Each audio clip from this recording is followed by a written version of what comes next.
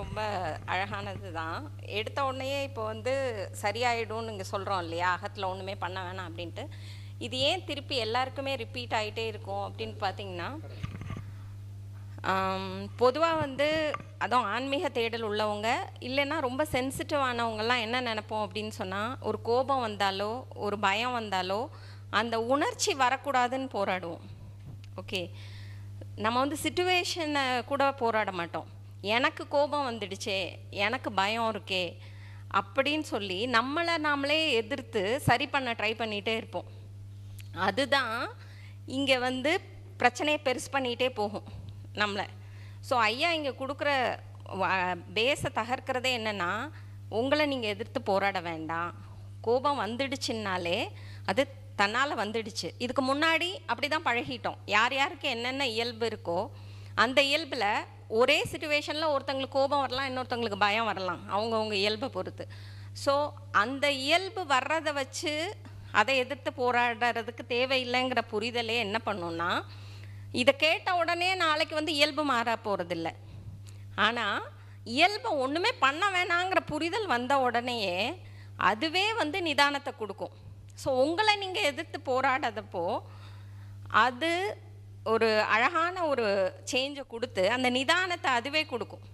இந்த இந்த பாயிண்ட் தான் ரொம்ப புரிஞ்சுக்கணும். கான்ஷியஸாக எனக்கு இப்படி ஆயிடுச்சே நான் இப்படி இருக்கேனேன்னு சொல்லி நம்மளை பற்றியே ஜட்ஜ் பண்ணி நான் இப்படி இருக்கேன் நான் அப்படி இருக்கேன் எனக்கு அமைதி இல்லை எனக்கு சந்தோஷம் இல்லை நான் இவ்வளோ தேடினேன். இந்த எந்த உங்களை பற்றின ஜட்ஜ்மெண்ட்டை டோட்டலாக நீங்கள் விட்டுட்டீங்கன்னா சுச்சுவேஷனுக்கு என்ன தேவையோ அதை அழகாக எடுத்து பயன்படுத்த ஓகே ஸோ அப்போவே எல்லா கேள்விகளும் உடஞ்சி போயிடும். ஏன்னா நம்ம இயல்பு எப்படி இருக்குன்னு நமக்கே தெரியாது. சின்ன வயசுலேருந்து பில்டப் ஆனது. எங்கே எப்படி வெடிக்கும்? எதுவுமே எல்லா பயிற்சியிலையுமே அந்த ஆழ்மன இயல்பை வெளியே கொண்டு வரது தான் பண்ணுவாங்க. அது அதுக்கு வந்து நமக்கு கெஸ் பண்ணவே முடியாது. பட் எதுவாக வந்தாலும் அது அப்படி தான் இருக்குன்னு அக்செப்ட் பண்ணுறப்போ ஆட்டோமேட்டிக்காக அந்த நிதானம் கிடைக்கும். ஸோ இந்த கேள்விகள் எல்லாமே எல்லாருக்குமே எப்படி இருக்கும்னா இதெல்லாம் முடிஞ்சதுக்கு அப்புறமும் கோபம் வருதே. பயம் வருதே மனசு சஞ்சலப்படுதேன்னா மனசுக்குன்னு ஒரு நிலையான ஒரு ஸ்டேட் எதுவுமே கிடையாதுங்க. சூழல் எப்படி இருக்கோ நம்ம இயல்பு எப்படி இருக்கோ இது ரெண்டையும் பிரதிபலிக்கிற வேலை தான் மனசு. அதை நம்ம ஒன்றுமே பண்ண வேண்டாம். அப்படிங்கிற புரிதல் இருந்தாலே வெளியில் என்ன பண்ணணுங்கிறது அழகாக திங்க் பண்ணி அழகாக அதை செயல்படுத்த முடியும். அதுக்கு இட் டேக்ஸ் டைம் அது வரைக்கும் இது இந்த புரிதலில் மட்டும் உறுதியாக இருந்தாலே கான்ஷியஸாக என்ன பண்ணோம் அப்படிங்கிறது இது புரிஞ்சிடுச்சுங்களா? ம். ம்.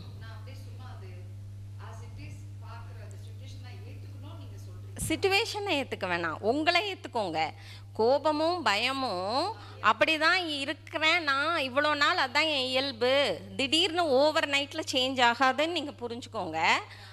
அதை புரி இங்கே போராடாதப்போ வெளியில் என்ன பண்ணணுமோ அதற்கான திங்கிங் கரெக்டாக வரும். இங்கே போராட்டம் இருந்தால் வெளியில் செய்ய வேண்டிய வேலையை கூட சரியாக செய்ய முடியாது. நம்மளை நாமளே எதிர்த்து போராடாதப்போ நம்ம என்ன நிலையில் இருந்தாலும் அதை தான் ஐயா உருண்டு ஓடிடும்னு சொல்கிறாங்க தண்ணி மாதிரி தேங்கவே தேங்காது. நம்ம போராட போராட அது சுழலாக திருப்பி திருப்பி ரிப்பீட் ஆகிட்டே இருக்கும். பண்ண செல்ஃப் ஜட்ஜ்மெண்ட் தான் இருக்கிறதுலையே வேர்ஸ்ட் ஆனால் அதுதான் நம்மளை இங்கே அழைச்சிட்டு வருது. எல்லா இடத்துலையுமே அந்த ப்ராக்டிஸை தான் கொடுக்குறாங்க. அந்த செல்ஃபை மாற்றி ஒரு டெம்ப்ரரியாக ஒரு இது கொடுக்குறாங்க. பட் பர்மனெண்ட்டாக யாராலையும் கொடுக்க முடியாது. பிராணாயாமம் சொன்னாங்க இல்லையா? ஐயா ப்ரீத் பண்ணணும். எவ்வளோ ப்ரீத் பண்ணாலும் கடைசியில் ஆட்டோமேட்டிக்காக நேச்சுரல் ப்ரீத்திங் தான் இருக்கும்னு சொல்லிட்டு. ஸோ அதை மாதிரி அந்தந்த இயல்பு இருக்கும். இவ்வளோ நாள் போராடினதுனால இயல்பு இன்னும் மோசமாயிட்டே போச்சு. இப்போ போராட்டத்தை கைவிட்ட உடனே அது அழகாக ஒரு சேஞ்சுக்கு போகும். அதை பார்க்க முடியும். ஸோ நம்மளை நாமளே எதிர்த்து போராடுறதோ நான் இப்படி நான் அப்படின்னு ஜட்ஜ் பண்ணுறதோ தான் இங்கே ப்ராப்ளம்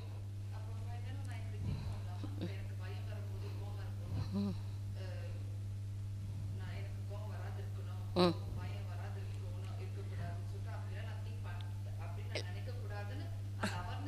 ஆ. ப்ராக்டிஸ்ன்னு இல்லை. அதுவும் ப்ராக்டிஸ் இல்லை. அது அதான் இங்கே வந்து ஆக்ஷன் அண்டர்ஸ்டாண்டிங் ரெண்டுக்குமே என்ன அப்படின்னு சொன்னால் இது கயிறு இருக்குது பாம்பாக தெரியுதுன்னா இது பாம்பு இல்லை கயிறுன்னு சொன்னால் அங்கே ஆக்ஷன் இல்லைல்ல அண்டர்ஸ்டாண்டிங் தானே? அதே மாதிரி கோபம் இருக்குது பயம் இருக்குது அப்படின்னு சொன்னால் நான் கோபப்படுறவளாக தான் இவ்வளோ நாள் இருந்திருக்கேன். அதனால கோபம் வந்திருக்கு. இப்படி இது இதுக்காக நான் என்னை எதிர்த்து போராட தேவையில்லை. ஏன்னா அது நிலைக்க போகிறது இல்லை அது போயிடும் அப்படிங்கிறது தான் இங்கே புரிதல். நம்ம இவ்வளோ நாள் என்ன நினச்சிட்டு இருக்கோம்னா கோபம்னா நம்ம கோபக்காரி அது இருக்குது அதை ஏதோ சரி பண்ண முடியும் அப்படின்னு போராடணும். அப்படிலாம் இல்லை. மொமெண்ட்ரியாக தான் இருக்குது நம்ம தான் அதை ரீட்டைன் பண்ணிகிட்டே இருக்கோம். ஸோ இங்கே கற்றுக் கொடுக்குறதெல்லாம் புதுசாக ஏதோ பண்ணுறது இல்லை. அது என்னவா இருந்தாலும் அதுவே சரி பண்ணிக்கும் அப்படிங்கிறத தான் திருப்பி திருப்பி சொல்ல வராங்க. ஆமாம் நீங்கள் ஒரு காரில் போயிட்டுருக்கீங்க கார் ட்ரைவ் பண்ணிகிட்ருக்கீங்க ரியர் வியூ மிரர்னு ஒன்று இருக்கு இல்லைங்களா? அது எப்பயாவது எதையாவது காட்டாத நேரம்னு எதாவது இருக்கா? எனி டைம் இதே ஒன்று காமிச்சிட்டே தான் இருக்கும். தேவைன்னா அதை பாருங்கள் ஒரு சைடு வாங்கணும் ஒரு பிரேக் அடிக்கணும்னா அதை பாருங்கள் மற்ற நேரத்தில் நீங்கள் அதை காட்டக்கூடாதுன்னு சொல்கிறது நம்ம ரைட்ஸே கிடையாது. அது எனி டைம் காமிச்சிட்டு தான் இருக்கும். அதை பார்க்காதீங்க. நீங்கள் முன்னாடி பாருங்கள் உங்களுக்கு கோவம் வரட்டும். எது வேணால் வரட்டும். கோவத்தை மெயின்டைன் பண்ணாதீங்க. அது நிர்வாகம் பண்ணாதீங்க. கோவத்தை தேவைன்னா வெளியே செயல்படுத்துங்க. தேவைன்னா அப்படி இருக்கிறது இயல்பு தானே. கோவங்கிறது என்னுடைய இயல்பு. அது இருக்கிறது இயல்பு தானே. நீங்கள் உங்களை ஏற்றுக்கிறீங்க ஒன்றும் பண்ண முடியாதுங்கிறத புரிஞ்சுக்கிறோம். இங்கே நாம் வந்து ஐயா சொல்கிறத கேட்க வரல ஐயா சொல்கிறத புரிஞ்சிக்க வந்திருக்கிறோம். இங்கே நீங்கள் நீங்கள் கண்டுபிடிக்கணும். ஐயா சொல்கிறாருங்கிறதுக்காக ஏற்றுக்கிட்டிங்கன்னா அது உங்களுக்கு ஒத்து வராது. நீங்களும் கண்டுபிடிக்கணும். உண்மைதாங்கிறத நீங்கள் ஏற்றுக்கணும் முழு மனசோட நீங்கள் கண்டுபிடிச்சிங்கன்னா தான் நான் கண்டுபிடிக்கிறதுக்கு ஐடியாவை தான் அனுபவம் அனுபவிப்பு பண்ணி உங்களுக்கு சொன்னேன் நான். நம்ம ஐ ஆறறிவு படித்தவங்க. ஆறறிவு படித்தவங்க நம்ம. ஐந்து அறிவு பிடிச்ச ஒரு எலி இருக்குங்க. அதுக்கு பசி எடுத்துருச்சுங்க. உடனே என்ன பண்ணுது? இந்த மாதிரி மரப்பெட்டி. அது மாதிரி மரப்பெட்டியில் உள்ள கருவாடு இருக்குங்க. உடனே அதை ஓட்டை போட்டு உள்ளே போய் கருவாடு எடுத்து சாப்பிட்டுட்டு அது எஸ்கேப் ஆகி அது வாழ்க்கை ஓட்டத்தை நடக்குதுங்க. அதே எலியை ஆறறிவு படித்த நம்ம அதே மரத்திலான ஒரு எலி பொறி ட்ராப் செஞ்சு அதுக்குள்ளார கருவாடை வச்சு எலியை அட்ராக்ட் பண்ணி உள்ள எலி வருது. கருவாடை சாப்பிடுது. பொறியில் மாட்டிக்கிச்சு. அந்த எலினால் அதே மரத்தால் செஞ்ச அந்த உயிர் பயம் வந்துருச்சு. உள்ளே ட்ராப் ஆகிட்டோம் அந்த எமோஷன் ஃபீலிங் சென்சேஷன் உள்ள அந்த இதுனால அதோட நாலேஜ் ஏற்கனவே மரத்தை ஓட்டை போட்டு உள்ளே போய் கருவாடு சாப்பிட்ட அந்த எலினால் இந்த கருவாடு சாப்பிட்ட அந்த மர அதே மரப்பட்டியில் செய்யப்பட்ட ஒரு பொரியில் உள்ளே மாட்டிக்கிட்டு அப்போ அந்த தாட்டு வந்து அதுலேயே சிக்கிக்கிட்டு நாலேஜுன்ற அந்த பயன்படுத்தி அந்த மரப்பட்டியை ஓட்டை போட்டு வெளியே வந்து தப்பிச்சுக்கணும்னு ஒரு உணர்வு வரல பார்த்தீங்களா? செயல்பாட்டுக்கு வரல இல்லைங்களா? அது மாதிரி நம்ம சிக்காமல் ம வெளியில் வர்றதுக்கு புரிதல் கொடுத்தது தான் ஐயா. அதே எலி தான் ஓட்டை போட்டு உள்ளே போச்சு. அதே இதை வந்து ட்ராப்பில் போய் உள்ளே மாட்டின பிற்பாடு அந்த எமோஷன் பியர்னஸ் அதிலே லாக் ஆகிட்டு அதனால் வெளியில் வர முடியல. நீங்கள் கேட்ட கேள்விக்கு புரி புரிதல் கிடச்சிருக்குன்னு நினைக்கிறேன்.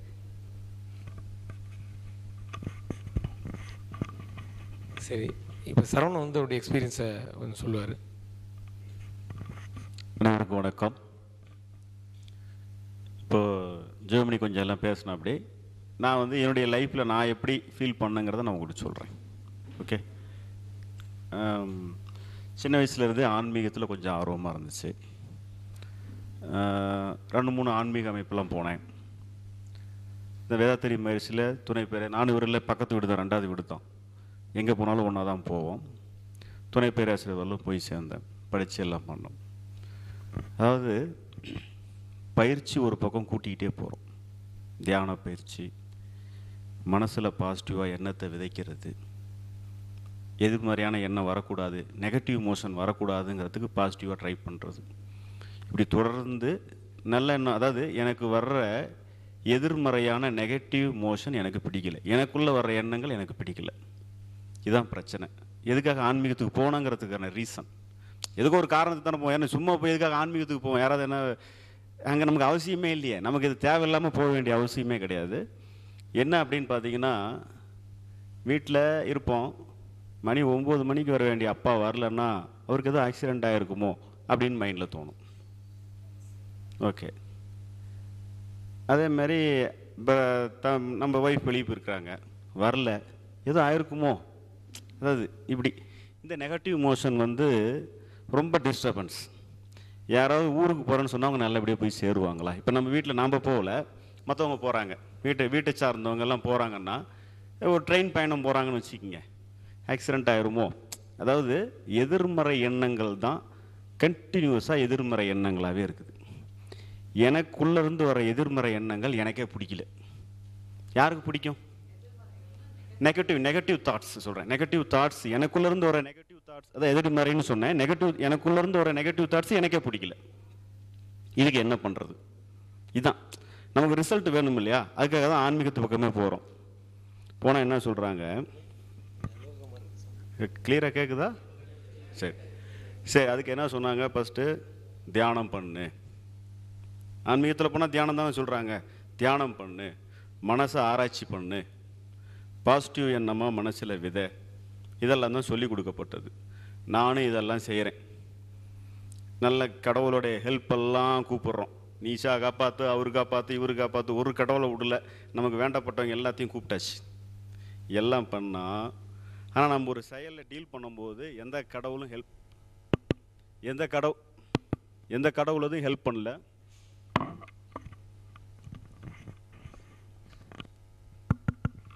அதாவது எந்த கடவுளோட இதுவும் ஹெல்ப் பண்ணல. எந்த தியானமும் அந்த இடத்துல சப்போர்ட் பண்ணல. எந்த பாசிட்டிவ் அப்ரோச்சும் உதவி பண்ணல. இது ஒரு எக்ஸாம்பிள் சொல்லி சொன்னோன்னா உங்களுக்கு ஈஸியாக புரிஞ்சிடும் அதுக்காக இதை சொல்ல வரேன். இப்போ என்னன்னு கேட்டிங்கன்னா இந்த நெகட்டிவ் மோஷன் எதிர்மறை எண்ணங்கள் சொன்னோம் நெகட்டிவ் மோஷன் சொன்னோம் இல்லையா? இது ஒரு பிரச்சனை. அடுத்தது நானே வந்து கார் டிரைவ் பண்ணணும்னு வச்சுக்கோங்க.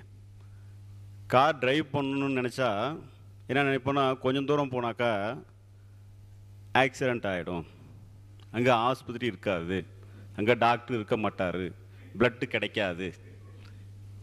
வண்டியே ஸ்டார்ட் பண்ணல. மைண்டு பிளட்டு கிடைக்காத வரலும் போய் நிற்கிது புரியுதுங்களா? இல்லை கொஞ்சம் நல்லா இதை அண்டர்ஸ்டாண்ட் பண்ணிட்டீங்கன்னா கோர் என்னன்றது நல்லா புரிஞ்சிடும் அதுக்கு சொல்ல வரேன். இப்போ இந்த நெகட்டிவ் மோஷனு இது யாருக்கு யாருக்கு பிடிக்கும்? ஹாஸ்பிட்டலில் பிளட்டு டாக்டரு இது எல்லாமே எல்லாம் சாவறது யாருக்கு பிடிக்கும்? நெகட்டிவாக இப்படி தோணிக்கிட்டே இருக்குது. இதை சரி பண்ணி ஆகணும். நானும் இந்த எ- இந்த நெகட்டிவான எண்ணங்களை சரி பண்ணுறதுக்காக தியானம் செஞ்சு பார்த்தேன். பாசிட்டிவாக மனசுக்குள்ளே நானாக வந்து நல்லா ட்ரைவ் பண்ணுவேன்னு சொல்லி பார்த்தேன். என்னென்ன ஆன்மீகத்தில் வழிமுறைகள் சொல்லப்பட்டிருக்கிறதோ நெகட்டிவ் எண்ணங்களை சரி பண்ணுறதுக்காக என்னென்ன முயற்சிகள் சொல்லிருக்குதோ அத்தனை முயற்சிகளும் பண்ணி பார்த்தாச்சு பதினெட்டு வருடமாக. எயிட்டீன் இயர்ஸ் ஒரு ரிசல்ட்டும் கிடைக்கல. ட்ரை பண்ணது மட்டும்தான் மிச்சம். ஒரு ரிசல்ட்டும் வரல. இந்த நிலையில் தான் நான் பகவத்தையாவை சந்திக்கிறேன். அதாவது என்ன வித்தியாசங்கிறது எப்படி அதை ட்ராகல் எடுத்தேன் அப்படிங்கிறத இப்போ நம்ம சொல்ல போகிறோம் ஓகேங்களா இதுதான் இதுதான் சுச்சுவேஷன் இதை எப்படி ஹேண்டில் பண்ணோம் அப்படிங்கிறது தான் இப்போ விஷயம். இதே சூழ்நிலை தான் ஐயாட்ட போகிறேன் போயிட்டு ஐயா பதினெட்டு வருஷமாக என்னால் காரே ஓட்ட முடியல. கார் ஓட்டுறேன்னா ஓட்டுறோம். அதுலேயும் நான் டிரைவ் பண்ணுறேன் பண்ணாமல் இல்லை இப்போ சப்போஸ் நான் ட்ரைவ் பண்ணுறேன்னு வச்சுக்கோங்க. நம்ம கூட உட்காந்துட்டு போகிறாங்க நீ ஓட்ட ஆரம்பிச்சிட்டியா? கொண்டா. அப்படின்னா முடிஞ்சு போச்சு. நம்மளுக்கு ஒட்டுமொத்த இருக்கிற கொஞ்ச நஞ்ச சத்தியம் அவன் பிடிக்கிடுவான் நம்ம உட்காந்தோடனே நீ இந்த ஆட்ட ஆட்டினா எங்கே கொண்டு போய் விடுவியோ? கொண்டா அப்படின்னு உடனே நம்ம அவ்வளோதான் முடிஞ்சு போச்சு அப்படின்னு சொல்லி டோட்டலாக ஆஃப் வாங்கி கொடுத்துட்டு அப்புறம் நம்மளால் ஓட்டவே முடியாது. நம்மளே மறுபடியும் குற்ற உணர்ச்சி. நம்மளே நம்மளால நல்லபடியாக காரே ஓட்ட முடியாது போல். அப்படி நம்மளே நம்மளை வந்து ஐடியா பண்ணிக்கிறது. அண்டர் எஸ்டிமேட்டு கில்ட்டி கான்சியஸ்ஸு குற்ற உணர்ச்சி இதெல்லாம் இருக்கும்.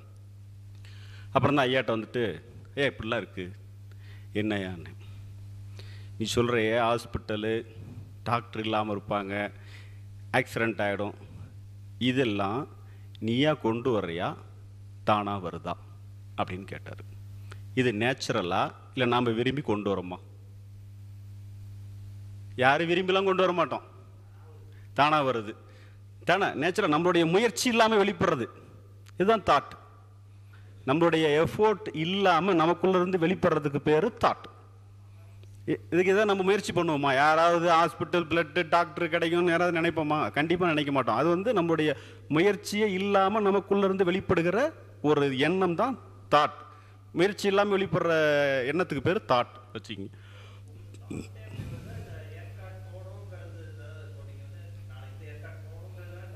ம். இல்லை இல்லை கார் கார் எடுக்கணும்னு கீ தொட்டாவே வச்சுக்கோங்க. கார் எடுக்கணும்னு கீ ஸ்டார்ட் பண்ண ஆரம்பித்தோம்னா இந்த மாதிரி மைண்டில் ஓடுது. ஆமாம் நெகட்டிவ் நெகட்டிவ் ஃபீலிங் அது ஒவ்வொருத்தருக்கும் அவங்களுக்கு வேறு மாதிரி நெகட்டிவ் ஃபீலிங் இருக்கலாம். ஒரு கிவிங் ஒரு ஜஸ்ட் ஒரு எக்ஸாம்பிள் சொல்கிறோம் ஒன்று ஹேண்டில் பண்ண தெரிஞ்சுக்கிட்டோம்னா மீதி எப்படி ஹேண்டில் பண்ணலாங்கிறது ஒரு ஐடியா இப்போ இப்படி இருக்குது? இதுதான் பிரச்சனை. இப்போ வந்து ஐயாவது ஐயா இப்போ என்ன சொல்கிறாரு இன்றைக்கி கேட்டீங்க? மனசில் எந்த எண்ணம் வந்தாலும் ஃப்ராக்ஷன் ஆஃப் செகண்டு ஒரு செகண்டில் அறுபதில் ஒரு பங்கு தான் ஒரு எண்ணம் வந்து தோன்றி மறையிற நேரம் அப்படிங்கிறாரு. அப்போ வந்து எனக்குள்ளே தோன்ற இந்த நெகட்டிவ் மோஷனுக்கு நான் என்ன செய்யணும்? என்ன பண்ணணும்? எனக்கு தோன் எனக்குள்ளே தோணுன எதிர் நெகட்டிவ் மோ எண்ணத்துக்கு நான் என்ன செய்யணும்? அது வந்து தாட் அந்த தாட்டை நான் வந்து திங்கிங்காக பண்ண தேவையில்லை. ஓகேங்களா? நானாக வந்து ஆமாம் நம்மளெல்லாம் காரே ஓட்ட முடியாது. அப்படிங்கிறது என்ன? நேராக வந்தது தாட்டு ஃபஸ்ட்டு அடுத்தது நம்மளாலாம் ஓட்ட முடியாதுப்பா. எப்படி அவன் சொல்லுவான் இவன் சொல்லுவான். சொல்கிறானா இல்லையோ நானே நினச்சிக்கிறது. அதெல்லாம் என்ன? அதெல்லாம் தான் திங்கிங் இப்போ இந்த நேச்சுரலாக தாட் வந்துச்சு இல்லை? இதுக்கு ரெஸ்பான்ஸ் பண்ணணுமா? இல்லை வண்டி ஓட்டுற செயலுக்கு ரெஸ்பான்ஸ் பண்ணணுமா? வண்டி ஓட்டுற செயல்னா என்ன சொல்கிறேன்னா கீர் போடுறது முன்னாடி பார்க்கறது ரேர் மேர் மிரர் பார்க்கறது சிட்டினா ஸ்லோவாக போகிறது பைபாஸ்னால் ரிலாக்ஸ் பண்ணிக்கிறது ஓவர் டேக் பண்ணுறப்ப கவனத்தோட கவன் கவனத்தோட பார்த்து செய்கிறதுங்கிற இந்த செயலுக்கு இம்பார்ட்டன்ட் பண்ணணுமா? எனக்குள்ள இருந்து வருகிற எதிர் நெகட்டிவான தாட்டுக்கு இம்பார்ட்டன்ஸ் கொடுக்கணுமா? புரியுதா? கொஞ்சம் தயவு செஞ்சு நல்லா அண்டர்ஸ்டாண்ட் பண்ணிக்கோங்க. இப்போ எனக்குள்ளேருந்து வருகிற நெகட்டிவ் தாட்டுக்கு இம்பார்ட்டன்ட் பண்ணிக்கிறதுங்கிறது என்னுடைய அகத்தை சரி பண்ணுறதுக்கு நான் சரி பண்ணுற முயற்சி. ஒரு காலமும் நடக்கலை.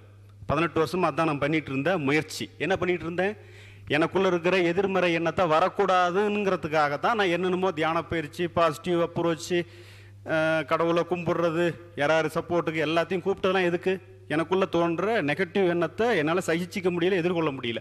அதுக்கு தான் இவங்களுடைய துணையை நாடணும் தியானம் பண்ணோம் பாசிட்டிவ் அப்ரோச் பண்ணோம் பட் எது பண்ணியும் அதை என்னால் ஜெயிக்க மு- நம்ம மனசால் ஜெயிக்க முடியாதுங்கிற இயலாமையை புரிஞ்சுக்கிறது தான் ஞானம். நம்ம கண்ட்ரோலில் இருக்கா? இல்லை. இப்போ உடம்புல ரத்தம் ஓடுது ஹார்ட் பீட் இருக்குது. இத்தனையோ ஆர்கன்ஸில் இன்னர் ஆர்கன்ஸ் எல்லாம் செயல்படுது இல்லை அது நம்ம கட்டுப்பாட்டில் இருக்கா? நாம் பார்த்து இப்போ நான் கொஞ்சம் ஃப்ரீயாக தான் இருக்கிறேன். ஹார்ட் நீ கொஞ்சம் ரிலாக்ஸாக துடிச்சிக்கோ. ரத்தமே நல்லா ஓடிக்கோ. அப்படின்னு சொன்னால் என்னுடைய எந்த ஒரு ரூல்ஸ் ரெகுலேஷனையும் என்னுடைய உடம்பு கேட்குமா? அது அதோட சிஸ்டத்தில் தான் இயங்கும். மனசும் சேம் அவ்வளோதான் அதுவும் அதோட சிஸ்டத்தில் தான் இயங்கும். என்னுடைய ஹார்ட்டை என்னால் சரிப்படுத்த முடியாது. இயக்கத்தை ரத்த ஓட்டத்தை என்னால் சரிப்பட முடியாது. என்னுடைய மனசையும் என்னால் சரிப்படுத்த முடியாது. நல்லா புரிஞ்சுக்கிங்க. இவ்வளோ தான் இதை ஒரு அன் இப்படி ஐடியாவுக்கு ஒர்க் அவுட் பண்ணி பார்த்தீங்கன்னா நீங்கள் புரிஞ்சுக்கலாம். இப்போ இங்கே அதை ஒன்றும் செய்ய முடியாது. இது மாதிரி என்னுடைய எதிர்மறை எண்ணத்தை சரி பண்ண முடியாதுங்கிறத முதல்ல நான் புரிஞ்சுக்கிட்டேன். ஓகேவா எதிர்மறை எண்ணத்தை சரி பண்ணணுங்கிறதுனால தான் என்னால் அடுத்தது செயலில் கவனமே செலுத்தவும் முடியல. சரியாக என்னால் ஒர்க்கும் அதில் பண்ண முடியல. என்னுடைய ஒட்டுமொத்த எனர்ஜியும் என்னுடைய எதிர்மறை எண்ணமே பிடிச்சிருச்சு அதனால் என்னுடைய செயலையே சரியாக பர்ஃபார்மன்ஸ் பண்ணவே முடியல. ஏன்னா இப்போ எண்ணத்துக்கு தனி எனர்ஜி ஒர்க்குக்கு தனி எனர்ஜின்னு ரெண்டுலாம் கிடையாது. எல்லாம் நம்ம உடம்புக்குள்ள இருக்கிற ஒரே எனர்ஜி தானே.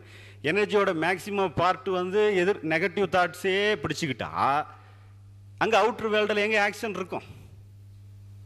எந்த ஆக்ஷனும் சிறப்பாக இல்லை. இப்போ என்ன இப்போ ஐயாவோட அண்டர்ஸ்டாண்டிங் என்ன பண்ணிட்டோம்னா நம்முடைய நெகட்டிவ் தாட்டுக்கு நாம் எதுவும் செய்கிறதுக்கு வேலை இருக்கா? நம்மளால் கண்ட்ரோல் பண்ண முடியுமா? கட்டுப்படுத்த முடியுமா? சரிப்படுத்த முடியுமா? அப்படிங்கிறது என்னுடைய ரத்த ஓட்டத்தையும் என்னுடைய இறுதியிட்டையும் நான் சண்டை போடுற மாதிரி. எனக்கும் சரி பண்ண முடியுமா? நெவர் அது கூட சண்டை போடுறது முட்டாள்தனம்னு யார் புரிஞ்சிக்கணும்? நான் தான் புரிஞ்சுக்கணும். நான் புரிஞ்சுக்கிட்டேன்னா அது கூட சண்டை போடுவேண்ணா போட மாட்டோம். அப்போ நமக்கு அடுத்தது என்ன வேலை இருக்குது? எனக்குள்ளே வர்ற எண்ண எதிர்மறை எண்ணத்தை சரி பண்ணுற பொறுப்பு எனக்கு இப்போ இல்லை. நான் என்ன பண்ணுவேன்? வெளியில் டிரைவ் பண்ணுற என்னுடைய கார் பர்ஃபார்மன்ஸுங்கிற ஆக்ஷனில் என்னுடைய கவனத்தை செலுத்தலாம். இந்த லைட்டை மனசுக்குள்ளே அடிக்கணுமா? மனசை வச்சு வெளியே அடிக்கணுமா? நாம் என்ன பண்ணிச்சோம் பதினெட்டு வருஷம் வந்து இந்த லைட்டை உள்ளுக்குள்ளே அடித்து சரி பண்ணுறதுக்கு முயற்சி பண்ணோம். ஒன்றுமே நடக்கலை. புரியுதுங்களா? இப்போ உள்ளுக்குள்ளே வர்றதை அதை கண்டுக்காம விட்டுட்டு வெளியில் செயல் பக்கம் மனசை பயன்படுத்துகிறோம் புரியுதுங்களா? சொல்லிடுறோம்மா சொல்லி முடிச்சவாட்டி கேள்வி கேளுங்க. கொஞ்சம் உங்களுக்கு நல்லா புரிஞ்சிடும். அதுக்காக சொல்ல வரேன். இப்போ என்னன்னா இப்போ வண்டி எடுத்தாச்சு. கீ போட்டாச்சு. மைண்டு சரியாயிடுமா? அதெல்லாம் ஒன்றும் கேட்கல அதே same hospital same doctor same blood கிடைக்காது. இதே கதை தான். அது இப்போது நான் எனக்குள்ள சொல்லிக்கிட்டு இருக்கிற தாட்டுக்கு இம்பார்ட்டன்ஸ் கொடுக்கணுமா? வேலை செய்கிற என்னுடைய டிரைவிங்கிற ஆக்ஷனுக்கு இம்பார்ட்டன்ட் தரணுமா? ரைட் இவ்வளோ நாளாக பதினெட்டு வருஷமாக என்ன பண்ணிக்கிட்டு இருந்தேன்? தாட்டுக்கு இம்பார்ட்டன்ஸ் கொடுத்துக்கிட்டு இருந்தேன். இப்போ தான் என்ன பண்ணுறேன் ஃபஸ்ட் டைமாக தாட்டுக்கு இம்பார்ட்டன்ஸ் கொடுத்து எந்த பிரயோஜனமே கிடையாதுன்னு தெரிஞ்சுக்கிட்டோம். ஓகே ஆக்ஷனுக்கு இம்பார்ட்டன்ஸ் கொடுக்க ஆரம்பிக்கிறோம். அப்போ என்ன ஆகுது? அப்போ என்னன்னா உள்ளுக்குள்ளே அதுக்குன்னு உடனே நின்று போச்சானா நிற்கல அது பாட்டு இருக்குது. அந்த நெகட்டிவ் மோஷன் உடனே வந்து வரவே இல்லைன்னுலாம் சொல்லு அது பாட்டுக்கு வருது. இப்போ என்ன ஆச்சுன்னு கேட்டிங்கன்னா நீ வர்றையா வந்துட்டு போ. நான் என் வேலை இப்போ டிரைவிங் பண்ணுறதை தவிர ஒன்றை சரி பண்ணுற வேலை எனக்கு இப்போ கிடையாதுன்னு நான் முடிவு தெரிஞ்சுக்கிறேன். மனசுக்குள்ளே வர எண்ணத்தை சரி பண்ணணுமா? நான் டிரைவிங் பக்கம் பார்க்கணுமா? நான் டிரைவிங் பக்கம் தான் பார்க்கணும். டிரைவிங்கை கவனம் கவனம் செலுத்துறது தான் என் வேலை. ஸோ டிரைவிங் பக்கம் நான் திரும்பின வாட்டி எங்கே கியர் போடணும் எங்கே பார்க்கணும் இப்படின்னு சொல்லி வண்டியை பார்த்து ஓட்டாமல் போது என்ன ஆகுதுன்னா இந்த மனசில் இருக்கிற இந்த நெகட்டிவான எண்ணங்கள் இருந்தது இல்லையா? ஒரு அரை மணி நேரம் இருந்த வேகம் அப்படி படிப்படியாக குறையுது. ஒரு வித்தின்ய ஒரு ஒரு இரண்டு மாதங்களில் அந்த அவ்வளோ ஃபோர்ஸ்ஃபுல்லாக இருந்த விஷயம் வந்து அப்படியே டோட்டலாக அந்த நெ அந்த எது நெகட்டிவ் மோஷன் வந்து போயிடுச்சு. இந்தாண்ட நெகட்டிவ் எண்ணங்கள் வந்து குறையுது. டிரைவிங் பர்ஃபார்மன்ஸ் கூடுது. ஏன்னா ஒரே தானே. உள்ளே பிளாக் பண்ணிக்கிட்டு இருந்த விஷயத்துக்கு கண்டுக்காம விட்டுட்டோம். வெளியில் இருக்கிற எனர்ஜி பக்கம் அது வந்து கன்வெர்ட் ஆகுது. ஆட்டோமேட்டிக்காக ஆக்ஷன் டிரைவிங் வந்து பர்ஃபார்மன்ஸ் கூடுது. ஓகே அப்போ என்ன ஆகுது? இப்படியே ஆக ஆக ஒரு ரெண்டு மூணு மாதத்தில் அந்த இதை பற்றி அதை நம்ம கண்டுக்கிறது இல்லை அது ஒன்றும் பண்ண முடியாதுன்னு தெரிஞ்சுக்கிட்டு அங்கே போய் நம்ம எதாவது சண்டை போடுவோமா?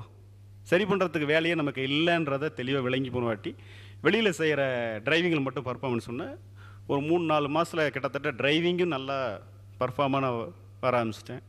நானூறு ஐநூறு கிலோமீட்டர் கூட ட்ரைவ் பண்ண எந்த இது இல்லாமல் சிங்கிளாக போகிற அளவுக்கு வந்தாச்சு. இந்த ஏற்காடுக்கு நான் மட்டும் சிங்கிளாக வண்டி எடுத்து வந்தேன். ஹில்ஸில் ஓட்டுறது கஷ்டம் இல்லை. சாதாரண டிரைவிங் ஓடுறது ஈஸி கொண்டை ஊசி உழவெல்லாம் கொஞ்சம் ஏறி வரும்னா கொஞ்சம் கஷ்டம். ஏறி வந்து இங்கே லேடிஸ் சீட் ஜென்ட்ஸ் சீட்டுன்னு இருக்குது இப்படி ரோடெல்லாம் குத்தலாக இருக்கும்.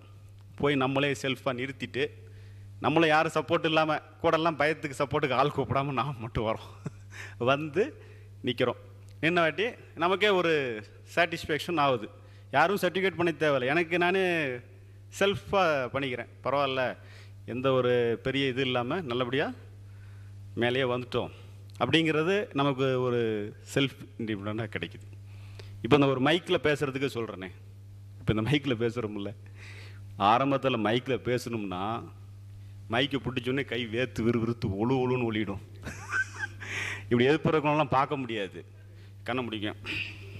சீட்டு அப்பா. அப்படின்னு நான் எனக்கு அப்படியே உள்ளுக்குள்ள இருந்து பதிவு பண்ணி மனப்பாடம் பண்ணதை கட கடன்னு ஒப்பிச்சுட்டு அப்பா மைக்கை போட்டு ஓடிடலான்டாங்கிற அளவுக்கு டென்ஷனாக இருக்கும். அவ்வளோ பயம். ஒன்றும் இல்லைங்க. மனவள கலை மன்றத்துக்கு போது தியானத்துக்கு டெய்லி போவோம்.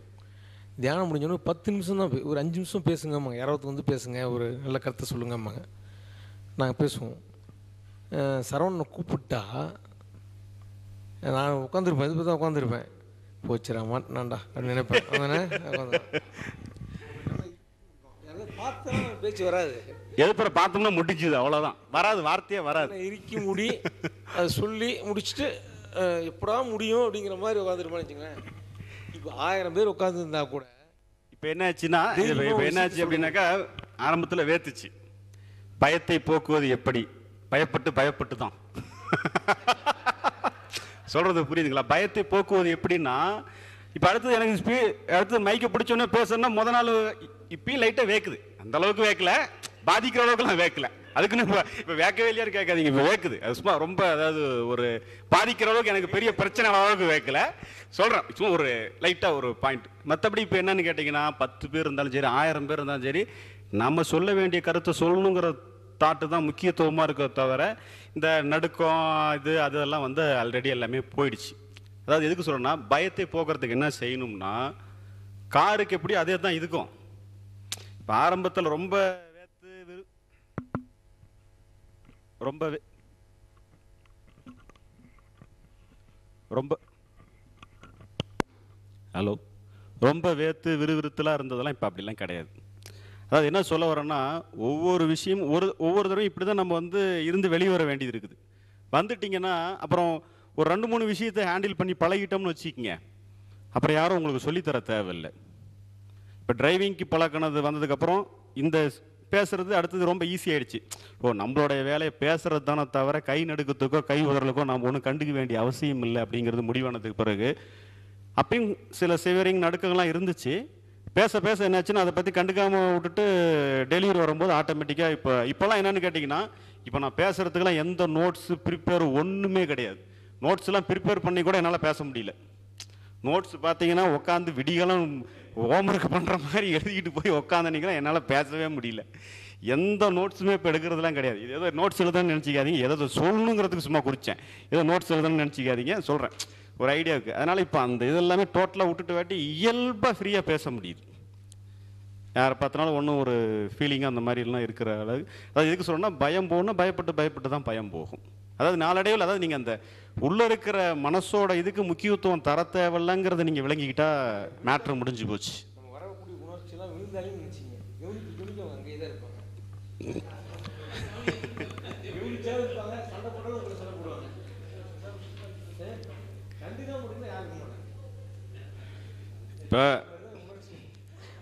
இப்போ மொத்தமாக இன்னொன்று பார்த்தீங்கன்னா நமக்கு வந்து என்ன நம்மக்கிட்ட இருக்குதுன்னு பார்த்தீங்கன்னா ஐந்து புலன் மனம். இதை தவிர நமக்கு வேறு ஏதாவது இருக்கா? யோசிச்சு பாருங்கள் அஞ்சு புலன். என்னன்னு நமக்கு தெரியும். கண்ணு காது மூக்கு வாய் உடம்பு. இது வந்து புலன். கண்ணில் பார்க்குறீங்க காதில் கேட்குறீங்க மூக்கில் வரும் இதெல்லாம் உங்களுக்கு எல்லாருக்கும் எல்லாம் நீங்கள் யாரும் தெரியாதவங்களும் எல்லாம் தெரிஞ்சிருப்பீங்க. இதுக்கப்புறம் மனசில் ஃபீல் பண்ணுறோம் இதை தவிர வேறு ஏதாவது நமக்கு தெரியுமா? சொல்லுங்கள் நம்மக்கிட்ட இருக்கிற ஹையஸ்ட் டூலே ரெண்டு தான். பொறி மனம். இதை தவிர வேறு எதுவும் கிடையாது. இப்போது நான் ஒரு ஒரு உதாரணம் சொன்னால் உங்களுக்கு தெளிவாக புரிஞ்சிடும் இப்போது நான் வந்து இங்கே இந்த லைட் இருக்குதுன்னு வச்சுக்கிங்க. இந்த லைட் இப்போ வந்து இதை நான் வந்து கண்ணில் பார்க்குறேன் கண்ணுங்கிற புலனில் பார்க்குறேன் மனசில் என்ன பதி பதிவாகுது? கொடைக்கு பின்னாடி ஒரு லைட் வச்சுருக்குறாங்க. அது வெளிச்சம் அடிக்குது. இது வந்து ஷேடோ இல்லாமல் வீடியோ நல்லா கிளியராக வர்றதுக்கு உதவியாக இருக்குது.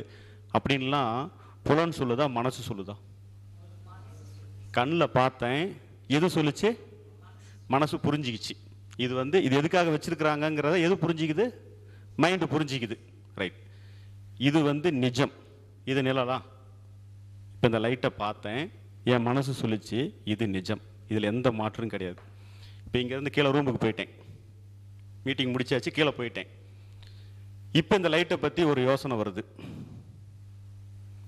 புலன் பார்க்கல. இப்போ எது காமிக்குது? ஆ? மனசு காமிக்குது. இப்போ அந்த மனசு காமிக்கிறதுங்கிறது நிஜமாக நிழலாம் நான் கண்ணில் பார்த்து உணர்ந்தது கிடையாது. ஆனால் அதுதான் அதனுடைய நிழலை தான் நம்ம பார்க்குறோம். கரெக்டாக இப்போ இதில் எது உயிர்த்தன்மையானது எது நிழல்? நாம் நிஜமாக ஒரு புலன் ரீதியாக பார்த்து மனசில் உணர்ந்தது நிஜம். மீதி எல்லாமே மனசில் யோசிக்கிறது பூரா என்ன? இமேஜினேஷன் தான் நிழல் தான். நீங்கள் வாழ்க்கையில் நிஜத்துக்கு முக்கியத்துவம் தரணுமா நிழலுக்கு முக்கியத்துவம் தரணுமா? நாம் ஆனால் எதுக்கு முக்கியத்துவம் கொடுத்துக்கிட்டு இருக்கோம்? நீங்கள் யோசிச்சு பாருங்கள் நீங்கள் மனசில் இருக்கிறதுக்கு தானே முக்கியத்துவம் கொடுத்துட்டு இருப்பீங்க. நல்லா யோசிச்சு பாருங்கள் நிஜ நிஜ அனுபவங்கிறது இப்போ இப்போ பார்த்தேன் இது முடிஞ்சு போச்சு. அவ்வளோதான் இதனுடைய மேட்ரு ஆனால் நீங்கள் எதுக்கு இம்பார்ட்டன்ஸ் கொடுத்துக்கிட்டு இருக்கிறீங்க அன்னைக்கு எனக்கு நடந்துச்சு. அது எப்பயோ நடந்தது. அது அன்னைக்கு நடந்த நிஜம். அன்னைக்கு பொய் இல்லை. அன்னைக்கு நடந்த நிஜம்தான். அதுக்கப்புறம் பத்து வருஷமாக போட்டு நான் பிடிச்சிக்கிட்டு இருக்கிறது நிழலை பிடிச்சிக்கிட்டு நானாக விடாமல் இறுக்கி பிடிச்சிக்கிட்டு இருக்கிறது நிழலை பிடிச்சிக்கிட்டு இருக்கேன். புரியுதா உங்களுக்கு? இப்போ இந்த லைட் என் மேலே படுது. நான் நிஜம். இது என்ன? நிழல். இதில் எது நிஜ அம்சம் எது நிழல் அம்சம்? நான் நிஜ அம்சம். இந்த நிழல்? என்னுடைய பிரதிபலிப்பு. இது என்னை கண்ட்ரோல் பண்ணுமா? நான் அதாவது இதுக்கு தகுந்த மாதிரி நான் மூவ் பண்ணுவேன்னா எனக்கு தகுந்த மாதிரி அதை மூவ் பண்ணுமா? நான் எப்படி நான் இப்படி நான் இப்படி நடந்தேன்னா அது நகரும். ஓகே நிழல் உங்களுக்கு ஒரு புரியறதுக்கு சொல்ல வரேன். நிழலுக்கு தகுந்த மாதிரி நான் நகர்றதில்லை. எனக்கு தகுந்த மாதிரி தான் நிழல் நகரும். புரியுதுங்களா? அப்போது நாம் நிழலுக்கு முக்கியத்துவம் தரணுமா நிஜத்துக்கு முக்கியத்துவம் தரணுமா? நாம் எதுக்கு முக்கியத்துவம் கொடுத்துக்கிட்டு இருக்கோம்? மனசுங்கிறதே நிழல். மனசில் தெரியாத எல்லாமே முடிந்து போன நிழல். அதுவும் முட்டு அந்த ஒரு சனம் தான் உண்மை. அதுக்கப்புறம் மீதி யோசிக்கிறது பூரா நிழல். நிழலுக்கு இம்பார்ட்டன்ட் தரணுமா? ஒரே கொஸ்டின் அப்போ வேலையே முடிஞ்சு போச்சு இல்லை? இப்போ எங்கே நிஜ அம்சத்தில் டீல் பண்ணும்போது டீல் பண்ணால் வேலை முடிஞ்சு போச்சு. மித்தபடி மீதி எல்லாம் நிழல் தானே. நிழலை உங்களுக்கு வெளியே எக்ஸ்டர்னல் வேலைக்கு ஏதாவது வேணும்னா பயன்படுத்திங்க. மற்றபடி நிழலை சரி பண்ணுற எந்த அவசியமும் நமக்கு இல்லை. இதை நல்லா புரிஞ்சுக்கிட்டிங்கன்னா நம்ம மனசில் வந்து எந்த இதையுமே நம்ம வந்து பெருசாக சுமந்துக்கிட்டு இருக்க வேண்டிய அவசியம் இல்லைங்கிறது உங்களுக்கு ஈஸியாக புரிஞ்சு போயிடும். இந்த விஷயம் புரியுது இல்லையா? நான் சொல்கிறது ஆமாம் சரி. வரட்டும். ஓகே வரட்டும்.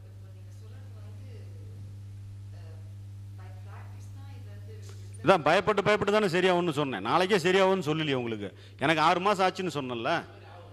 அரை மணி நேரம் வந்தது இருபத்தஞ்சி நிமிஷம் ஆச்சு.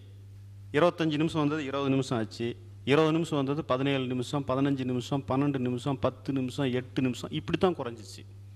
வராமல் இன்றைக்கி புரிஞ்சுக்கிட்டேன். நாளைக்கு எதுவுமே வரல. அப்படின்லாம் சொல்லவே முடியவே முடியாது. வாழ்க்கை ஒவ்வொரு அனுபவமும் கற்றுக்கிட்டே இருக்க வேண்டியதானே தவிர உடனே இன்னைக்கு புரிஞ்சுக்கிட்டோம் நாளைக்கு வராமல் இருக்கும்லாம் சொல்லவே முடியாது. கிடையாது. அப்படி கிடையாது. இன்னொரு உதாரணம். ஃபேன் இருக்கு. ஃபேன் ஓடிட்டு இருக்கு. நீங்கள் எப்படி ஆஃப் பண்ணுறதுன்னு உங்களுக்கு தெரியல.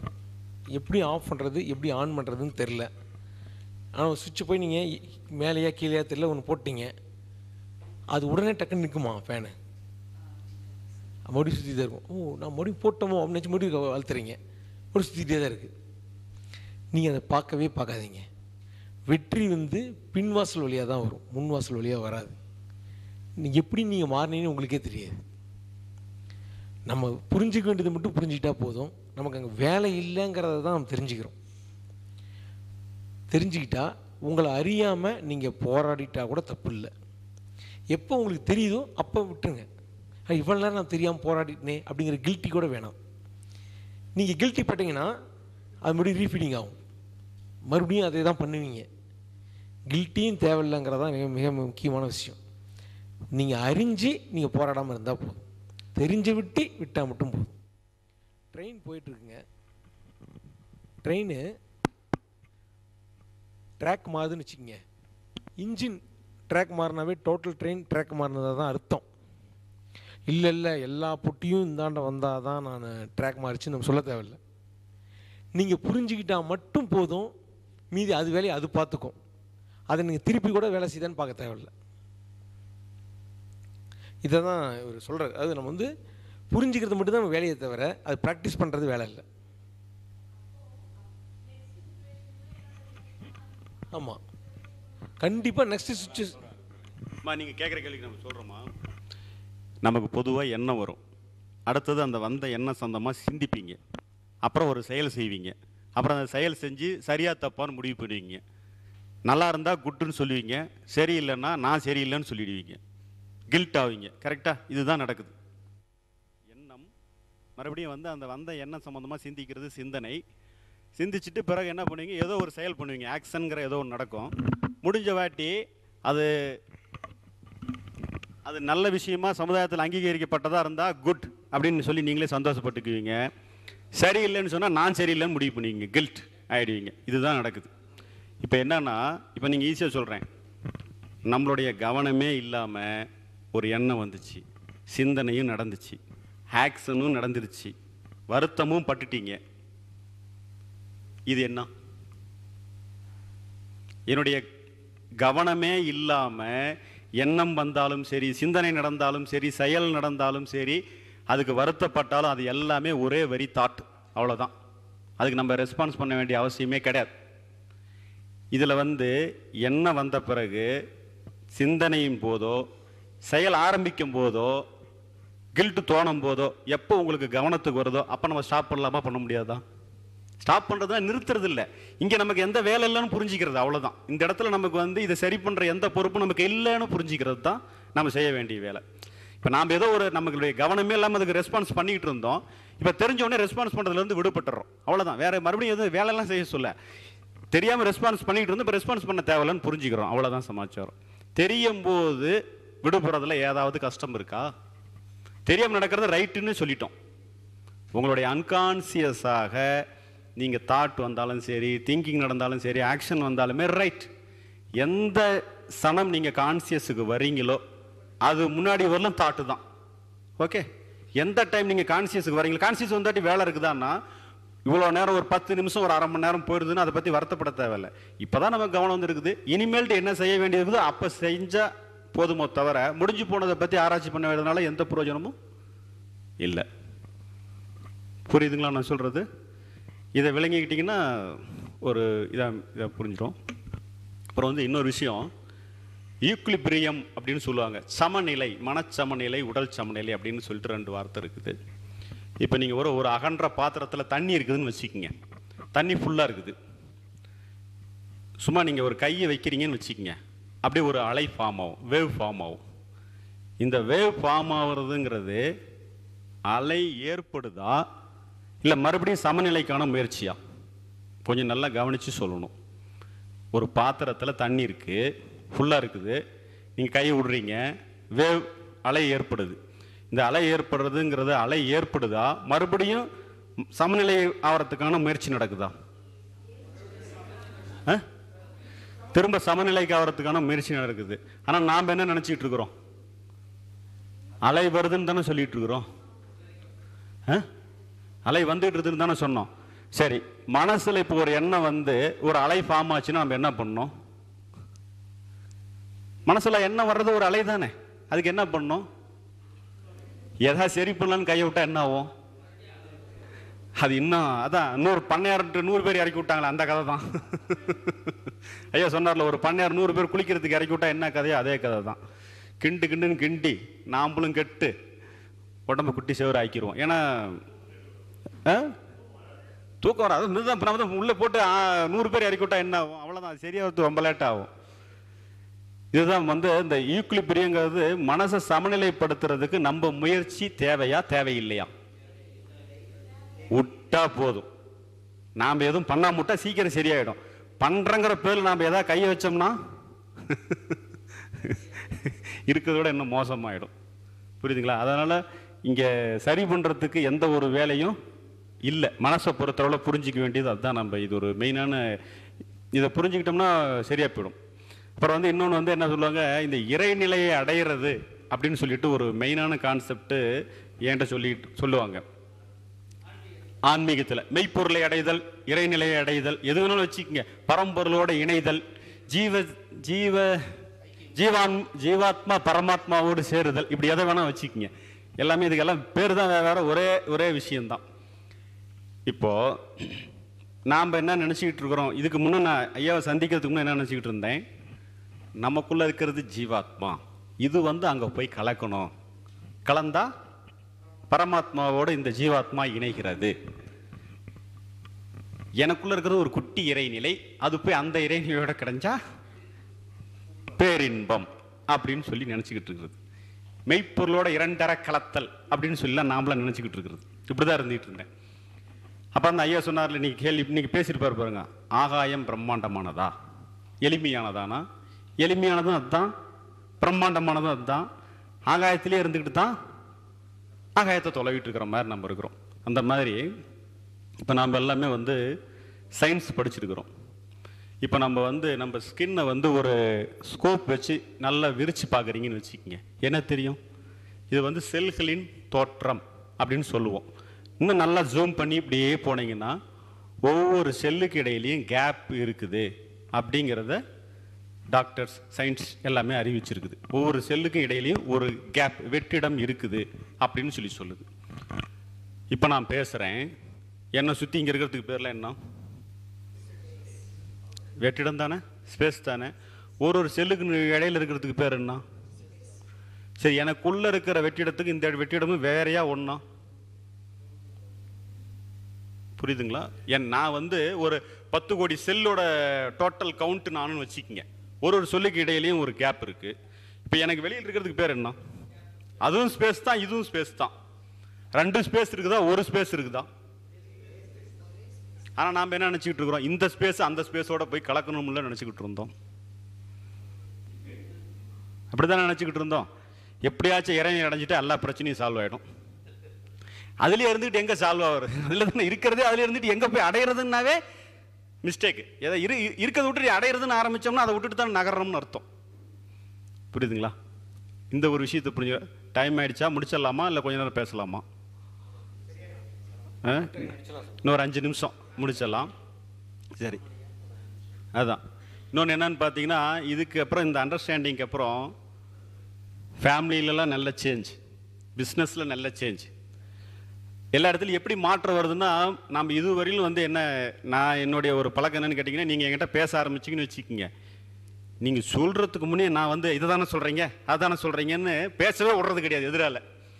நம்ம தான் அறிவாளியாக இருக்கிறோம்ல அதனால் எல்லாம் சொல்லி சொல்லி அவன் வந்து ஏன்டா சொல்ல கேளாது என்னானது கேளாண்டாங்கிறதுலே நாமளே பேசி அவங்கள பேச விடாமல் நிறுத்திடுறது. அப்படி இருந்துகிட்டு இருந்துச்சு. நான் வந்து ஐயா கூடலாம் உட்காந்து பேசிகிட்டு இருக்கும்போது கிட்டத்தட்ட ஒரு மணி நேரம் நம்ம சொல்லிகிட்டு இருந்தால் கூட அவர்கிட்ட ஒரு இப்படி வச்சுருப்பார். அவ்வளோதான் ஒரு ரியாக்ஷனுமே இருக்காது. அதே மாதிரி யாராவது ஒருத்தர் ரெண்டு பேர் வருவாங்க. வந்து முக்கால் மணி நேரம் ஒரு மணி நேரம் அவங்களே பேசுவாங்க. இவர் ஒரு வார்த்தை கூட பேச மாட்டார். பேசிட்டு ஐயா என்னங்கன்னு நமக்கு அவங்க வாய்ப்பே தெரியலையே. அவங்க வந்தாங்க சொன்னாங்க போயிட்டாங்க. நமக்கு இதில் எங்கே வேலை இருக்குது அப்படிம்பார். அப்போ தான் எனக்கு புரிஞ்சுது. தேவையில்லாமல் ஏன்டா பேசிக்கிட்டு இருக்கிற? கேட்டால் பேசு கேட்கலன்னு சும்மா ரேண்டா அப்படின்னு சொல்லி எனக்கு புரிஞ்சிச்சு.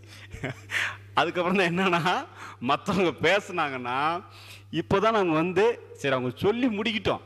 அதுக்கு முன்னையே நாம் பரபரத்து தான் யார் இதையுமே காது கொடுத்து கேட்குறதே இல்லை. இப்படி தான் நம்ம இருக்கிறோம். இதுக்கப்புறம் தான் இந்த இந்த பொறுமையாக லிசன் பண்ணணுங்கிறதே வந்து எனக்கு இந்த அண்டர்ஸ்டாண்டிங் அப்புறம் தான் வந்துச்சு. இப்போ யாராவது ஒருத்தர் பேசுனாங்கன்னா பேசி முடிச்சாரு இன்னும் நீங்கள் ஏதாவது சொல்ல வேண்டியது பெண்டிங் இருந்தால் கூட கொஞ்சம் சொல்லுங்கன்னு சொல்லும்போது நாம் உங்களுக்கு தீர்வு சொல்கிறோமோ அது ரெண்டாவது பட்சம். அன்னைக்கு ஒரு ஆள்கிட்ட இப்படி தான் பேசிகிட்டு இருக்கும்போது அவர் சொன்னார். சரி என் வாழ்க்கையில் இது யாருமே நான் சொன்னதை கேட்டதே கிடையாதுங்க. நீங்கள் ஒரே ஒருத்தர் தான் ஒரு மணி நேரம் வரும் கேட்டிருக்கீங்க அப்படின்னு சொல்லி சொன்னார். அதனால் என்ன சொல்கிறேன்னா அதை கேட்குறதுக்கும் நமக்கு ஏதோ ஒரு ஏதோ ஒரு பக்குவம் இல்லாமல் நம்மளால் கேட்க முடியாது இல்லையா? அது சொல்கிறேன் அந்த மாதிரி ஒரு லிசனிங் கெப்பாசிட்டி வந்து கூடி இருக்குது இந்த லிசனிங் கெப்பாசிட்டி கூடினாதான் யார் யார் என்ன பண்ணுறா என்ன மிஸ்டேக் பண்ணுறாங்கங்கிறத நம்மளால் அனலைஸ் பண்ண முடியும். அப்போ தான் வந்து என்ன பண்ணணும் நம்ம அவங்கள சரி பண்றதுக்கெல்லாம் போயிடக்கூடாது எங்கேயோ சரி பண்ண போனீங்கன்னா தகராறு தான் அந்த வேலைக்கெல்லாம் போயிடக்கூடாது நம்மளால் அவங்களுக்கு என்ன ஹெல்ப் பண்ண முடியுமோ அந்த ஹெல்ப் பண்ணுற வேலையோட பண்ணிவிட்டு நம்ம விட்டுட்டோம்னா அதாவது உங்களுக்கு அவங்க அப்போ தான் நம்மக்கிட்ட வந்து ஒரு அவங்களுடைய பிரச்சனைக்காக நம்மளை எதிர்கொள்கிற எப்பயுமே நம் அவங்களுக்கு வெல்விஷரா யாராக இருப்பாங்கன்னு நம்ம தான் இருப்போம். அந்த மாதிரி ஒரு சூழ்நிலை இருக்கும். இன்னொரு ஒரு எக்ஸாம்பிள் சொல்லிடுறேன். எனக்கு ஃபஸ்ட்டு இந்த வேதாத்திரி மகிழ்ச்சி இருக்கும்போதெல்லாம் நமக்கு மேலே ஒரு சூப்பரான அறிவாளி யாருமே கிடையாதுன்னு ஒரு பயங்கரமான ஒரு நினப்பு இருந்துச்சு. ஏன்னா நம்ம தான் இறைநிலையே புரிஞ்சுக்கிட்டு அதுக்கு மேலே வேறு என்ன இருக்குது அப்படின்னு சொல்லிட்டு ஒரு மைண்டில் இருந்துச்சு. இந்த கடவுள் கடவுள்னா நீக்கமுறை நிறைந்திருக்கிறட்ட கடவுளா? இப்படி சில கேள்விகள்லாம் ஓடிக்கிட்டு இருக்கும். ஆரம்பத்தில் எங்கள் ஒய்ஃப் என்ன பண்ணுவாங்க? கோயிலுக்கு கூப்பிடுவாங்க.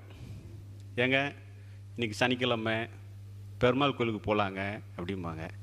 என்னம்மா ஊர் புறம் இறைநிலை மெய்ப்பொருள் மெய் இயக்கம் இப்படி சொல்லிட்டு என்னைய பெருமாள் கோயிலுக்கு கூப்பிட்ற இது என்ன நியாயம்னு.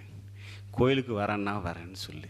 வரலன்னா வரலன்னு சொல்லு. எதுக்கு இவ்வளோ ஆர்கியூமெண்ட் அப்படின்னு அவங்க சொல்லுவாங்க. அப்புறம் நான் வந்து இல்லைம்மா அப்படின்னு சொன்னால் இப்படியே போய் கடைசியா சண்டை ஆகிடும் சண்டை காத்தால் போகாத கோயிலுக்கு கடைசியாக சாயந்தரம் போகிறது இப்படி ஓடிக்கிட்டு இருந்துச்சு. அப்புறம் தான் கொஞ்ச நாள் என்ன புரிஞ்சிச்சு? ஒவ்வொருத்தருக்கும் அவங்கவுங்களுக்குன்னு விருப்பம் இருக்குது. இப்போ எனக்கான நிறையா வேலையை அவங்க செய்கிறாங்க அவங்களுக்கான விருப்பத்தை நான் செஞ்சு கொடுக்கணுமில்ல. இப்போ பையனுக்கு ஒரு படம் பிடிக்குதுன்னா எனக்கு பிடிக்கணுங்கிற அவசியம் இல்லை. அவனுக்காக நம்ம கூட்டு போகிறோமா போகலையா? இப்போ நம்ம குழந்தைக்கு ஒரு படம் பிடிக்குது. எனக்கு அந்த படம் இன்ட்ரெஸ்ட் இருக்கோ இல்லையா அதை பற்றி அவசியம் இல்லை. பட் இருந்தாலும் அவனுக்காக நம்ம போகிறோமா இல்லையா? அது மாதிரி தான் இப்போ அதுக்கப்புறம் என்ன ஆச்சுன்னு கேட்டிங்கன்னா இந்த அன்வான்டாக சண்டை போட வேண்டிய அவசியம் இல்லைங்கிறது புரிஞ்சு போச்சு. யாருமே கேட்கவே இல்லை. அவங்க கேட்கறத செஞ்சு செயல் அதாவது நீங்கள் வந்து எனக்காக நினச்சிக்கிறியாங்கிறத யாராவது கேட்குறாங்களா?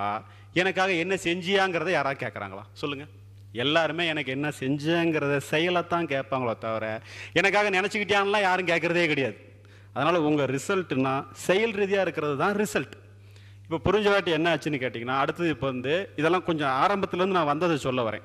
அப்புறம் ஒரு கட்டத்தில் என்ன ஆச்சுன்னு கேட்டிங்கன்னா இப்போ கோயில்னா ஏமா அர்ச்சனை சீட்டு வாங்கணுமா? நெய் விளக்கா? துளசி மாலையா? முடிஞ்சு போச்சு.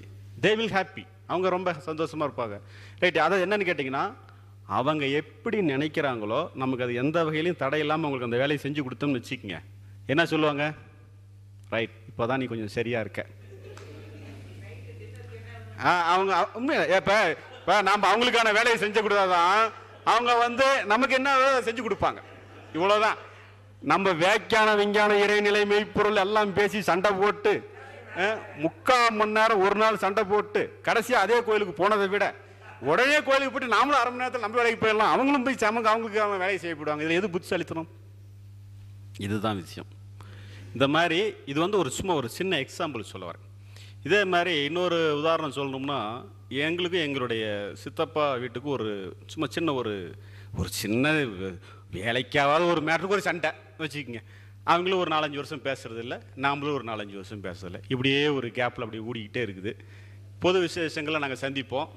அவங்களும் அப்படியே பார்த்துக்கிட்டே போவாங்க. நாங்களும் பார்த்துக்கிட்டே போவோம். இப்படியே ஓடிக்கிட்டே இருக்கும். ரெண்டு பக்கம் ஓடிக்கிட்டு இருக்கும். ஆனால் ஒரு பொதுவான விசேஷத்துக்கு கூப்பிடுவோம். வராங்களா பார்க்கலாம் அப்படின்னு நாம் நினைக்கிறது. அவங்க வராங்களா பார்க்கலான்னு இப்படியே ஓடிக்கிட்டே இருக்கிறது. இதுக்கு வந்து தீர்வே அமையலை. இப்படியே போயிட்டே இருக்குது. ஒரு கட்டத்தில் இப்போ யாராவது இதுக்கு முடிவு பண்ணுமா பண்ண வேண்டாமா? அந்த நீயா வருவியா நானா வருவியாங்கிறது ஈகோவா செயலா? இப்போ முடிவு கொண்டுனா என்ன பண்ணணும்? யாரோ ஒருத்தர் இறங்கி போகணும். இறங்கி போனவங்க தோத்து போயிட்டதா அர்த்தமா? இல்லை அவங்க கேனையன்னு அர்த்தமா? நெவர் அப்படிலாம் கிடையாது. தெரிஞ்ச வாட்டி என்னாச்சு? நான் என்ன பண்ணேன்? ஒரு விசேஷத்துக்கு நான் எங்கள் வீட்டில் கூட யார்ட்டையும் சொல்லலை. ஸ்ட்ரைட்டாக அவங்க வீட்டுக்கு போனேன். காத்தால ஃபோன் பண்ணிவிட்டு யார் நம்ம சித்தப்பா சின்னம்மா தானே? என்ன தப்பு? நேராக ஃபோன் பண்ணிட்டு நான் வீட்டுக்கு வரேன் அப்படின்னு சொல்லிட்டு போகிறேன் அவங்களுக்கு ஒரே ஆச்சரியம் என்னடா ஃபோன் பண்ணி வரான்? ஒன்றும் புரியல அப்படின்னு சொல்லிட்டு நான் போயிட்டேன் நான். நிறையா பிறவி இதெல்லாம் நமக்கு தெரியாது. இருக்கிற நாள் கொஞ்ச நாள். அதில் நாம் இந்த சின்ன விஷயத்துக்காக நீயும் சண்டை போட்டுக்கிட்டு அப்படி இருக்கிறத விட நாம் அதுக்கு ரொம்ப நெருங்கி ஒன்றும் கொஞ்சம் கொலாக வேணாம். ஓரளவுக்கு வந்தால் பார்த்தா பேசிக்கிட்டு போகிற அளவுக்கு இருக்கலாமா தவிர தேவையில்லாமல் அன்வான்டாக தகராறு பண்ணிக்க தேவையில்லை. இந்த ஒரு சின்ன பகையெல்லாம் நமக்கு வந்து ஒரு அவசியமற்றது. நான் தப்பு செஞ்சுருந்தாலும் சரி நீ தப்பு செஞ்சுருந்தாலும் சரி இதைத்தோட முடிச்சிட்டு நீங்களும் வாங்க நாமளும் பேசிகிட்டு இருக்கலாம். இதில் இன்னும் பெரிய இதாக இருக்குது அப்படின்னு சொல்லிட்டு பேசிட்டு ரெண்டு பேர்ட்டையும் சொல்லிட்டு வந்தேன். நாளைக்கு விசேஷத்துக்கு நான் கூப்பிட வர மாட்டேன் கூப்பிட வருவாங்க. நீங்கள் வந்து சேருங்க. நாளையோட இந்த மேட்டரை சால்வ் பண்ணுறோம் அப்படின்னு சொல்லிட்டு வந்தாச்சு. அடுத்த நாள் காத்தால முத கெஸ்ட்டாக யார் வரா? அவங்க வராங்க. இங்கே வீட்டில் வந்தவாட்டி கவனிப்புக்கு நமக்கு ஒன்றும் வேலை கிடையாது. எல்லாம் பின்னி படல் எடுக்குது. நாம் ஒதுங்கி நின்று வேடிக்கை தான் பார்க்கணும். நான் பார்த்துட்டேன். நீயும் சொல்லாத நானும் சொல்ல. அது பாட்டுக்கு நடக்கட்டும். ஆட்டோமேட்டிக்காக சரியாக போச்சு. இப்போ என்னென்னா புரிந்த ஒரு நபருக்குனால ஒரு பெரிய நாலஞ்சு வருஷத்தோட கேப்பையை கூட நம்மளால் மாற்றிக்க முடியுதுன்னு சொல்ல வரேன். அதாவது செயல் முக்கியமா ஈகோ முக்கியமா? சொல்லுங்கள் செயல் தான் முக்கியம். அப்படிதானே? அதனால் இது புரிஞ்சுக்கிட்டோம்னா பாரதியார் பாட்டு நிறையா பேசணும். பத்தரை ஆயிடுச்சு நம்ம டைம் முடிச்சுக்கலாம். ஏன்னா ரொம்ப நேரம் எடுக்க வேண்டாம்னு பார்க்குறேன். அப்போ நாளைக்கு காத்தால டைம் இருக்குது. பாரதியார் பாட்டு ஒன்று இருக்குது அக்னி குஞ்சொன்று கண்டேன். அதை அங்கோர் காற்றிடை வைத்தேன். வெந்து தளிர்ந்தது காடு. கனல் குஞ்சொன்று மூப்பொன்று உண்டோ? அப்படிங்கிறதான் பாட்டு. என்னென்னு பார்த்தீங்கன்னா ஐயா அந்த புரிதல்ங்கிறது மனசில் ஒன்றும் செய்ய வேணாம். இவ்வளோதான் இது என்ன பெரிய விஷயமா? அப்படின்னு நமக்கு தோணும். ஆனால் இது வந்து ஒரு தீப்பொறி. இப்போ எல்லாத்துக்குள்ளேயும் என்ன இங்கே இந்த ரெண்டு நாள் வகுப்பில் என்ன தரோம் அப்படின்னு கேட்டிங்கன்னா ஒரே ஒரு நெருப்பு பொறியை உங்களுக்குள்ளே எல்லாத்துக்குள்ளேயும் இன்சர்ட் பண்ணி அனுப்பிச்சுட்றோம். அது என்ன ஆகும்? முதல்ல பிடிக்க ஆரம்பிச்சதுன்னா கட்ட கட்ட கட்டன்னு பிடிச்சதுன்னா நீங்கள் எத்தனையோ ஜென்மமாக நான் பதினெட்டு வருஷமாக சேர்த்து வச்சுருந்தது எத்தனை மாதத்தில் எரிச்சிது? Just three மந்த்ஸில் எரிச்சிருச்சு. புரிஞ்சுங்க இதுதான் சொல்ல வரேன் நான் சொல்கிறது பதினெட்டு வருட போராட்டத்தை வெறும் மூணே மாதத்தில் நல்லி இப்போ இப்போ எனக்கு என்னென்னா இப்போ எனக்கெல்லாம் நெகட்டிவ் எமோஷனை பற்றி யோசிக்கிறது கூட எனக்கு அதை பற்றி அப்படி ஒன்று இருந்துச்சான்னு இப்போ எனக்கு நினச்சி பார்க்குற மாதிரியான சூழல் தான் இருக்குது. நம்ம அப்படிலாம் அப்போ இருந்தோம்ல அப்படிங்கிறது இப்போ வந்து யோசிச்சு பார்க்குற மாதிரி தான் தவிர அந்த மாதிரி மனநிலை மாறி போயிடுச்சுன்னு சொல்லி சொல்ல வரேன். அதனால் அந்த உள்ளே இருக்கிற அத்தனை சரக்கையும் இந்த புரிதல்ங்கிற இது வந்து தீப்பொறி முள்ள வளர்ந்து எல்லாத்தையுமே காலி பண்ணிட்டு நமக்குள்ள சுய ஒளியாக நம்மளை சரியான பாதையில் வழி நடத்திட்டு போகிறது இந்த புரிதல். அதனால் தயவு செஞ்சு இதை யாரும் ஏதோ ஒரு சின்ன ஒரு ஈஸி சின்ன சமாச்சாரமாக நினச்சிடாதீங்க மிகப்பெரிய ஒரு உங்கள் லைஃப்பில் ஒரு பெரிய டேர்னிங் பாயிண்ட் கொடுக்குற இடம் பகவத் ஐயாவதாக தான் இருக்கும். அதனால் நீங்கள் எல்லாம் எங்கே போனாலும் வந்தாலும் இந்த கிளாஸில் கொஞ்சம் கவனம் கொடுத்து கேளுங்கள் இந்த தாட் அண்ட் திங்கிங்கை படிங்க பகவத் பாதையை படிங்க. அதே மாதிரி இன்னொரு நூறு நாளைக்கு வேறு எந்த ஆன்மீக அமைப்பையும் தவறாக சொல்லலை. அவங்களெல்லாம் தப்பாக சொல்லலை. நீங்கள் என்ன பண்ணுங்கள் இன்றைக்கி ஒரு டைரி இன்றைக்கி ஊருக்கு போயிட்டு ஒரு டைரி எழுதி டைரி எடுத்து வச்சுக்கிங்க. உங்களுடைய இன்னைக்கு ப்ரெசண்ட் மைண்ட் ஸ்டேட்டை ஒளிவு மறைவு இல்லாமல் அப்படியே ரைட்டப் பண்ணுங்கள் அந்த டேட் போட்டு எப்படி இருக்குதோ அப்படியே உள்ள என்னென்னா நம்ம நினைக்கிறோம் எப்படி எப்படிலாம் என்னுடைய மனநிலை இருக்குது. அப்படியே வரி விடாமல் எழுதி வச்சுட்டு மூடி வச்சிருங்க. ஒரு நூறு நாளைக்கு மனசை சரி பண்ணுறது சம்மந்தமாக எந்த ஒரு கோயிலுக்கு போகிறதும் இருக்கக்கூடாது. நான் வந்து எதிர்ப்பாக சொல்கிறேன்னு நினச்சிக்காதீங்க. ஒரு நூறு நாள் ட்ரையல் பீரியடாக நீங்கள் எடுத்து பாருங்கிற சொல்கிறேன் மற்றபடி கோயிலுக்கு எதிராக சொல்கிறேன்னு நினச்சிக்காதீங்க. கோயிலுக்கு போக கோயிலுக்கு போகாமல் தியானங்கள் பண்ணாமல் மனசை சரி பண்ணுறதுக்கான எந்த ஒரு உபாயத்தையும் கையில் எடுக்காமல் மனசை அது போக்கில் விட்டுட்டு ஐயா புக்கை படிக்கிறது. அதை வந்து நம்ம திரும்ப இன்சிஸ் பண்ணுங்கிறதுக்கு இல்லை. அந்த படிக்க சொல்கிறது எதுக்குன்னா மனசில் ஒன்றும் பண்ண வேணாங்கிறத திரும்ப திரும்ப ரிமைண்டர் கொடுக்கறதுக்காக அந்த புக்கை படிக்க சொல்கிறேன் ஓ மனசில் ஒன்றும் பண்ண தேவையில்லை. அப்படிங்கிறத புரிஞ்சுக்கிறதுக்காக அந்த புக்கை. இந்த ரீடிங் படிச்சுக்கிட்டே இருந்தீங்கன்னா என்ன ஆகும்னா ஒரு நூறு நாளுக்குள்ளே உங்களுக்கே அந்த வந்து என்னன்றது இப்போ அவங்க சொன்னாங்க இல்லையா இப்போ ஐயாவோட புரிதல் இன்னைக்கு புரிஞ்சுதுன்னா அது நாளைக்கு உங்களை அப்படியே புரிஞ்சிடாது. அந்த புரிதல் உங்களுக்கு தான் மாறணும். புரியுதுங்களா? உங்களுக்கு தான் மாறிடுச்சுன்னா தான் அது உதவி செய்யுமோ தவிர இப்போ நான் புரிஞ்சுக்கிட்டதை நான் சொல்லிருக்கிறேன். நீங்கள் யார் ட்ரைவ் பண்ணுறது யார்? நாளைக்கு கை நடுங்கிறது யாருக்கு? உங்களுக்கு தான் நீங்கள் தான் நடுங்கி நடுங்கி சரியாகணும். நீங்கள் தான் அப்- அதை ஒரு உதாரணம் சொல்கிறேன் அந்த மாதிரி நான் என்னுடைய அனுபவத்தை சொல்லிக்கிறேன்னா அப்படியே உங்களுக்கு அது என்ன உங்களுக்குள்ளே தான் அது உங்களுக்கு நிகழ்ந்து மாறி ஆகணும் தவிர வேறு வழி கிடையாது. அந்த மாதிரி நீங்கள் இந்த ஒரு நூறு நாள் இதை தவிர வேறு எந்த சிந்தனையும் இல்லாமல் உங்கள் டே டு டே ஆக்டிவிட்டீஸோட இதை மட்டும் இணைச்சி செஞ்சுக்கிட்டே வந்தீங்கன்னா ஒரு நூறு நாள் கழித்து திரும்ப ஒரு ரைட்டப் ஓப்பன் ரைட்டப் எழுதுங்க. அன்னைக்கோட ப்ரெசண்ட் மனநிலை எழுதுங்க. நூறு நாளைக்கு முன்னாடி எழுதின மனநிலையும் படித்து பாருங்கள் இதையும் படித்து பாருங்கள் நம்ம நூறு நாளைக்கு அப்புறம் எழுதின ரைட்டப் பெட்டராக இருந்ததுன்னா என்ன அர்த்தம்? நாம் ஏதோ இருக்கிற நிலையிலிருந்து ஒரு சரியான பாதையை நோக்கி நம் போய்கிட்டு இருக்கிறோங்கிறத மற்றவங்க ஜட்ஜ் பண்ணணுமா நமக்கு நம்மளே ஜட்ஜ் பண்ணணுமா நம்ம தான் ஐஎஸ்சி ஜட்ஜி மற்றவங்க சொல்கிறதெல்லாம் இம்பார்ட்டனே கிடையாது. நம்மளை நம்ம பார்த்துட்டா ஓகே அந்த ஐடியாவுக்கு வந்துட்டிங்கன்னா அப்புறம் உங்களுக்கு வேறு யாராவது சொல்லணுமா? இப்போ நீங்கள் நல்லா இருக்கீங்க அப்படின்றது உங்களுக்கே தெரிஞ்சதுன்னா வேறு யாராவது உங்களுக்கு சர்டிஃபிகேட் தரணுமா?